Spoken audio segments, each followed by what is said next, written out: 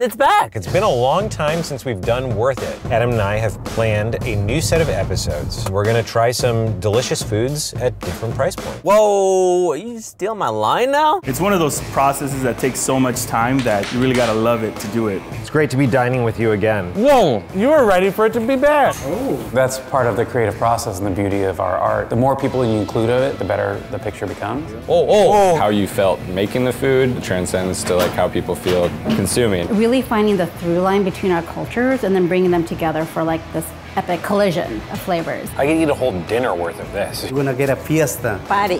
Whoa. Cheers, Steven. Oh my God, this is some of the best food we've had on Worth It ever.